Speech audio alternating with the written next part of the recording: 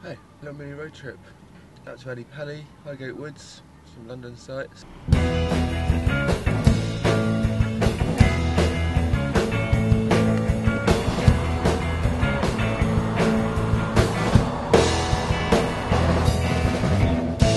Standing in the basement of a holy temple. Transported to a magic. This is where Josh almost ran over Judge Jules. Of the ones who came before me. There's Ali Pali. Giving all I've got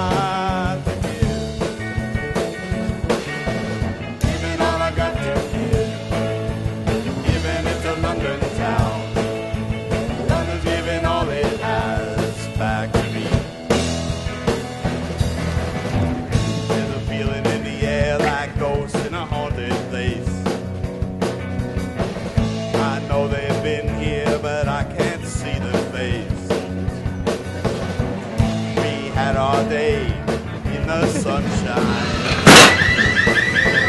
Now we have to go away.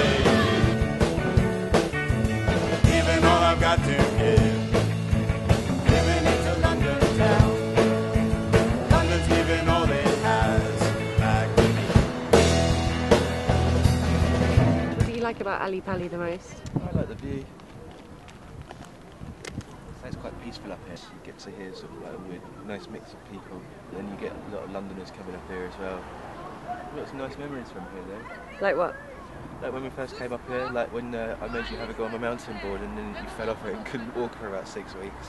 Least favourite memories at Ali Pali was getting on Josh's mountain board and even before I'd gone one step I'd managed to twist my knee and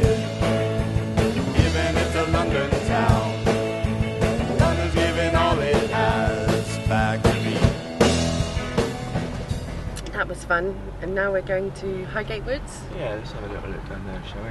which is the woods in Highgate, another North London attraction.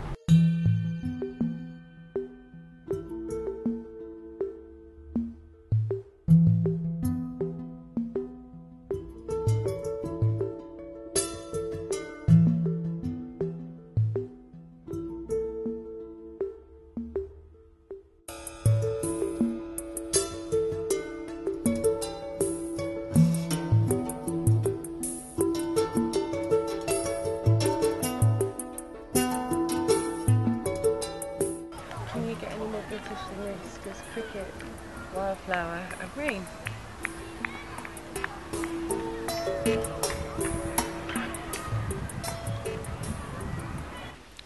Is this like being in the Blair Witch Project, being in Highgate Woods? I'm so, so sorry.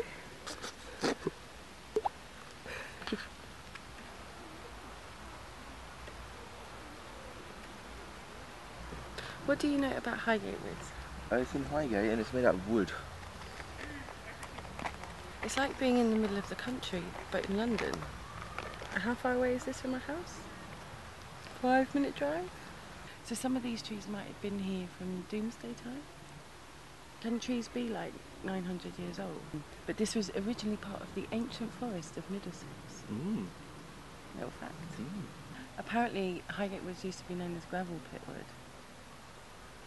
Or did Wu Tang Clan film something here? Wu Tang Clan um, filmed most of their videos here. Yeah, gravel Gra- pit. Gravel Pit, yeah. And, uh, Highgate's known is synonymous with Wu Tang. That's their hood. right, okay. really. Um, and they also like to go for coffees on a Sunday. Dinner at the Woodman. N6 represent. Yeah, they're not really keen on Sainsbury's moving into the local area.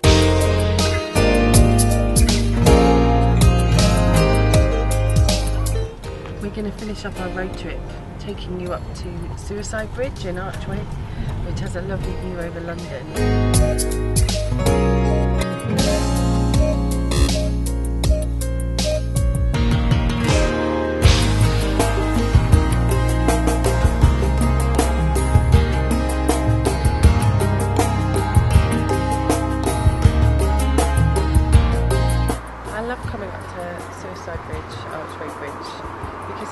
Feel like I've come back home into London, especially after a long, hard road trip.